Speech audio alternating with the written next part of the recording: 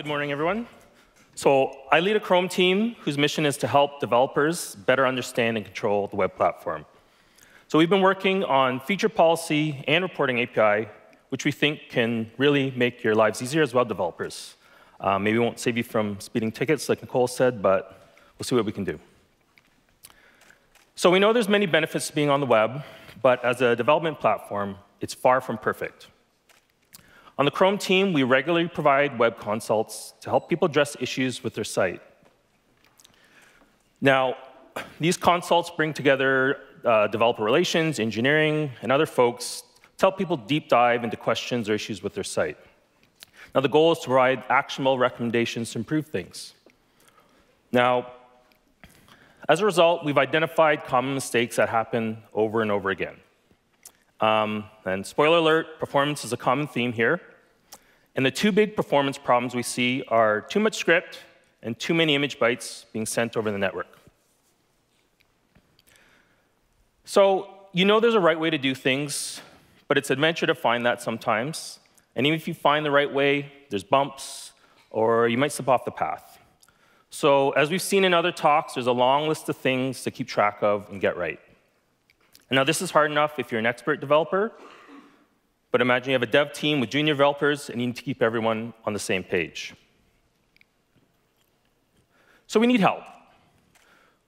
What if we could make web development easier with guardrails? So if you imagine guardrails along a path, if you hit a rail, you know you're doing something wrong, and the rails stop you from leaving the path. Now, this isn't necessarily a new idea, but looking at repeated mistakes in our web consults, we're thinking about different ways to apply this. Concretely, how could we help you put guardrails in place for development? So AMP gives us examples, an example of guardrails in web development. AMP gives guarantees you're not going to veer off course by making it nearly impossible to do things wrong. Now, AMP started by providing building blocks, tightly constrained to ensure great performance in UX, so this is an opinionated approach to carve off good parts of the web platform. Now, not everyone can or wants to use AMP. So learning from AMP, we thought about a more configurable approach. And that's feature policy. So we're really excited about it. We think it's going to be a great tool to help guide you towards the well-lit path of web development. Now, with feature policy, you opt into a set of policies for the browser to enforce throughout your site. These policies restrict which features the site can access or modify the browser's default behavior for certain features. So let's talk through some of the common problems we've seen. So images often have extra quality or metadata that take up space, but isn't required. Now, as we've seen in other talks, again, there's many tools to optimize images, but you have to remember to use them, or you have to integrate them into your build pipeline. Now, ideally, your page should never serve images that are larger than the version that's rendered on screen. Anything larger just results in wasted bytes and slows down page load time. So a common example might be sending a desktop-sized hero image to a mobile device. We've designed policies to catch common mistakes of unoptimized or oversized images. So we researched the impact that we think these policies can have on 10,000 most popular sites. Our analysis shows that 10% of sites can save over 500 kilobytes on average. Now, that can reduce load time by up to three seconds, sorry, 10 seconds, on a 3G network. So let's take a quick look. So this shows the policies being applied to a site. Now, on the left, policy for unoptimized images is, is turned off, and you can see the images loaded normal. On the right, we've turned on the policy, and it's blocked one of the images. So we compute a compression ratio of, byte, of bytes to pixels, and if that ratio is greater than 0.5, we'll block the image and we'll show a placeholder. So the idea is to point out the images that need to be corrected. So this site might look familiar. Um, you know, at Google, we're big, we're big believers in dog fooding, so we went and applied all the policies we could to the site. Lo and behold, we found out we made a few mistakes. So the unoptimized images, uh, sorry, we applied a bunch of policies, but it was actually the oversized images policy that caught that we were sending some really images that were too big. So oops. Um, just shows that even the experts, like our developer relations team, can make mistakes. And these, so you know, we really need better tooling to help catch these kind of things. So another common problem is images without explicit sizes. Now, as we see on the left, this can cause the user experience to jump around as the browser loads in new images and resizes a page. Now, on the right, we've applied a policy to catch this. So the browser can set these images to a fixed size, and it'll keep your user experience stable. So how does this all work? Policies, like I said before, are a contract between developer and browser. We use them to inform the browser about our intent for our site. It's a set of rules for how each page should behave. Now, the browser helps keeps us honest when our page tries to veer off the path by validating that it's behaving according to its stated rules. So if a page or embedded third-party content attempts to violate any of the rules, the browser will identify or block the behavior. And in some cases, it may override the behavior to provide a better user experience. All right, let's take a look at how you configure policies. Now, each policy confer, uh, refers to a single feature, and then it defines a list of origins that are allowed to use the feature. Now, with each page response, you can add this feature policy HTTP header. So in this example here, this will catch all oversized images. And this is the one that saved our bacon on the CDS site. Now here, the none keyword means that no origin is allowed to use the feature of, of oversized images, disabling it entirely for your site. Now, looking at that example, you might wonder why we would say oversized images are a feature. Now, we have policies for helping you enforce best practices to ensure good performance and user experience. And the way these often work is we'll define a known bad practice as a feature, and then you use the policy to prevent it. Now, we do this for web compatible reasons. We don't want to go ahead and break the internet by all of a sudden turning off oversized images for everyone. So we'll allow that behavior by default, and then you opt in to turn it off. Now, this header applies a policy that catches any images that are not optimized. Now here we're making an explicit exception for our photo CDN. Now, in this case, it might be because our users expect really high detail, glossy pictures, and this, those, excuse me, those don't compress well. Now, in this case, there's only one origin li listed, and all origins will not be allowed. So here's an example that puts them all together. So first, we have a policy that ensures every image has explicit dimensions. So we saw this earlier, preventing your uh, user experience from jumping around. Now, second, we have a policy to selectively enable the geolocation feature. So now we're applying this to our own origin and to our trusted maps provider. The, the self keyword here means the origin of the top level page. So by combining this with explicit origins, you have full control over who's allowed to use a feature. And then finally, we're allowing any origin to use autoplay. And here you see an asterisk keyword. That means essentially everyone. So by default, Chrome will only allow autoplay on same origin iframes. With this policy, we can allow cross-origin iframes to play as well. So in that last example, we saw features in the more traditional sense, you know, well-known APIs that are exposed to the web, like geolocation, camera, full screen autoplay. So before we saw policies about enforcing best practices, so now we have policies that give you granular control over the features you use. So we've probably all seen this example. You go to a site, and before you interact with the site at all, you get a pop-up to use location or microphone or something like that. So with feature policy, you can lock this down to either prevent the use of the feature at all or really just dole it out to specific origins you trust.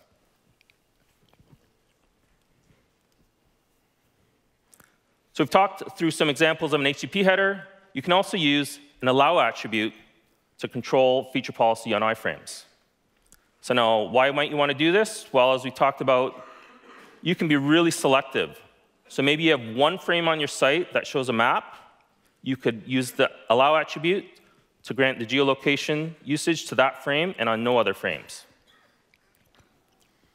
Now, in the example we see here, this allow attribute is changing the default for the autoplay feature. Well, you'll notice if you go to generate an embed on YouTube, they're already using this in production today. So we've seen a lot of flexibility in how you can configure feature policy. So we built in some rules to make sure they're being applied correctly. So uh, Malte in the keynote talked rather enthusiastically about not using syncxhr. And yes, we do have a policy for that, and AMP is uh, using that in production. So the way the rules apply is first, policies are inherited. So scripts will inherit the policy of their containing frame. So this means that Uh, for your top-level scripts, they'll inherit the policies of the main document. So this means you can apply the policies at the top, and they cascade down to all nested subframes. So in AMP's case, they can set the policy to disable sync XHR and know that it will be applied to all subframes, regardless of how far they might be nested. and this applies to the iframe attribute, allow attribute as well. So if you have an allow attribute and you have a header, the stricter of the two policies wins. Now, on the other hand, you, we have this one-way toggle. So disabling a feature turns it off permanently. So that means, again, in AMP's case, they've turned off the feature with the syncxhr policy, and that means no frame, nested or otherwise, can turn it back on. Now, for policy supporting best practices, it might not be feasible for the browser to actually block the bad practice before it occurs. It can only detect the problem in some cases and then break your page in an obvious way or notify you. The goal in that case is really to let you know there's a problem to fix. Now, we saw this in the policy for unoptimized images and oversized images. Now, in other cases, the browser can actually block the bad practice so your site continues to behave well. The policy front size media works this way. So it'll apply fixed size to images to prevent the, excuse me, the user experience from jumping around. So we have DevTools and Lighthouse to give you great insight into the behavior of your site. So where's feature policy fit into your development workflow? Feature policy lets you set the policies up front and then catch problems early during development, before anyone writes a lot of code. Now, you can build policies as defaults for new sites or new pages, and this way you can enforce standards across your dev team. Policies are served with each page and validated at runtime, so you can choose to turn them on for some users and not others. You can also turn them on for some pages in your site and not others, as you incrementally improve your site, for example. So at a minimum, we recommend turning, enabling the policies on your staging server. This can let you catch problems that you didn't see during development. For example, you might have your images come from a content management system, and they're not available as you're developing the site. So this can catch problems with that. In addition to staging, you can also apply policies in production. You can have your dev team, your managers, all the way up to your CEO, use your site with policies enabled so that you can find real issues in the wild. For regular production users, you likely won't enable the policies if violations will break the user experience. So for example, with the image policies, loading un unoptimized images more slowly is probably a better experience than having them missing altogether. You still want to know about all these violations so you can correct them. So we've designed report-only mode to give you the best of both worlds. So you can configure policies similar to the examples we saw before, but you mark them as report only. So you see here, internal users, they have the policies enabled, right? We'll break things, we'll see problems with images that need to be, get corrected. For production users, we have them report only mode, so the pro production users get the normal experience, but then you can get reports about what's gone wrong. So speaking of reporting, feature policy violations are really just the start. There's lots of other info from the wild that would be really valuable. So for example, browser interventions. Sometimes a browser needs to intervene to improve the experience for the end user. So one example of, a, of such an intervention is blocking document.write on like 2G connections. So there, we've, we've discovered right, that doing a document.write on a really slow connection can really impair the user experience. So to protect that, we've just blocked it. But that happens in the wild, you don't know about it. You really want to find out about it so you can correct it. Now, what else? So just taking a look at this, there's lots of things going on in the wild on your site that you'd really love to know about. Now, the problem, some of these are just console messages, which you can't collect. Now, there's other things that have a bespoke API like window.onError, so you kind of have to remember to go hook up something there to get some errors. And then there's things like crashes and network errors that just aren't possible to capture from script. So the solution here is the reporting API. This gives you one place to collect all sorts of information from the wild. It's a one-stop shop. It exposes information that wasn't available before. We've talked about like network errors, crashes, now that's coming soon, um, feature policy violations, right? Deprecations, interventions, and network errors, you can get those today with the reporting API. There's two ways to use the reporting. We have the reporting observer, which lets you collect reports client side with a, with a JS API. Now you can filter by report type. Here we've said we just care about deprecations and feature policy violations. And then you can use a callback to funnel these reports to your own analytics provider or however you'd like to capture them. Now, because it's client side, the available types are limited, but the key feature here is it buffers results, so you can set up your reporting observer later and still get reports that happened earlier in page load. So every report has some common fields. So we can see here the type of the report and the URL where the report happened. And then for each report type, there's a specific body. Now, for feature policy violations, we see it's telling you the feature that you're using, and it tells you where in your code the violation occurred. Now, the second way to use reporting is with the report to response header. So this lets you configure out-of-band delivery of reports. The browser will queue up reports and send them to the location you're choosing, separate from the execution of your page. And so here you can get all of the report types that we saw earlier. So you'll see a couple fields here. So first there's group, and that just lets you name this particular set of endpoints. And then you can refer to that group name in other parts of your configuration. Now, max age says how long this configuration is valid for. After that, we'll throw, it, we'll throw away this configuration. So this lets you, you know, change endpoints over time and gradually switch to new ones. And finally, endpoints is an array of URLs. So you can configure multiple URLs for fallback. So if the browser can't reach one endpoint, it'll try another. And so talking about one place to configure reporting, CSP, Content Security Policy, now integrates with the Reporting API. So whereas before you'd specify your, a report URI and you'd give it an URL to where you want your reports to go, now you can use the report to directive, and you just point it at one of the endpoints you'd previously configured. So if we go back to the previous example, you'd send a report to header, and you define a group called CSP endpoint. You can have all the URLs you need there, the age, and then you just refer back to it here.